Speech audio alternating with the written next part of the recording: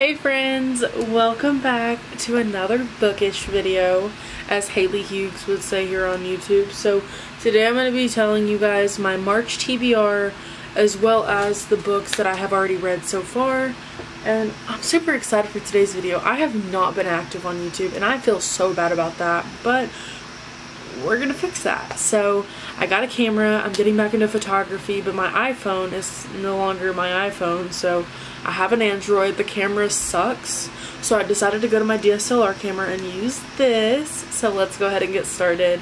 I usually try to read four to five books every month, if I can. This month is kind of a slow reading month, but I'm, I'm picking up the pace. So let's start with the book that I have already read, and I gave it a 4 out of 5 star rating. It is This Poison Heart by Kalynn Bayron. It is so good. It's about this girl who was put up for adoption when she was a kid and then she inherits this entire mansion and land um, from her birth mother and her birth aunt and she finds a lot of new poisonous plants and it's just it's a it's a it's a ride girl. It's crazy but i really like this book. Four out of five stars. Definitely recommend. It's so good. And then for a little bit of a springy summer read. I got Elin Hilderbrand's The Hotel Nantucket.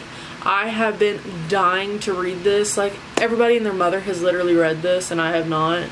So I'm trying to hop on the bandwagon. It is pretty lengthy, and this is an adult fiction book, so it's pretty dense.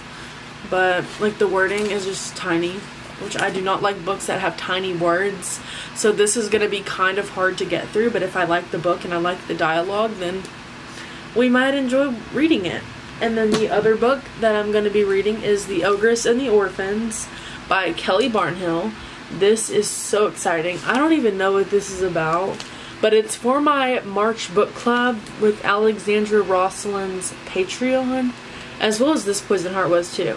But this book is another book that's a part of her book club, and I really, really wanted to read it. So, I got it. I'm about to start it today. I'm going to do some reading vlogs very soon. Very soon. And I'll let you guys know how I like this book. And then the last book that I'm going to be reading this month. And let me guys tell you, this one's good. It is The Heiress by Rachel Hawkins. I think this one's like a thriller. Um, I've actually already started reading it. I haven't really gotten too far into it, but I've started reading it. And I, I rented this from the library, the public library.